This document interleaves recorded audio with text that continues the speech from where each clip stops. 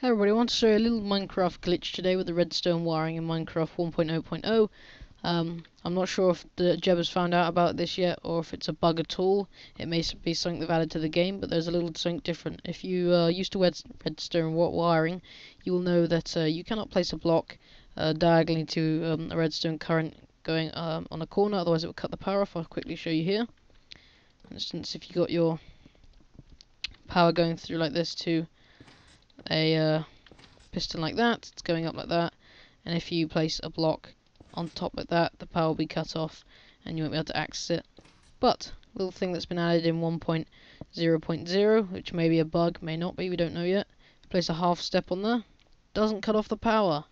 Still stays going under there, piston's still up, but if you go ahead and place another block on, making it a full block, it cuts off the power. This does work with multiple half steps, it works for all of the half steps, as a matter of fact. But as soon as you make it into a full block, it all cuts off and doesn't work anymore. So something a little useful that you may want to use to your builds. Uh, covering up redstone wiring may be a lot easier now.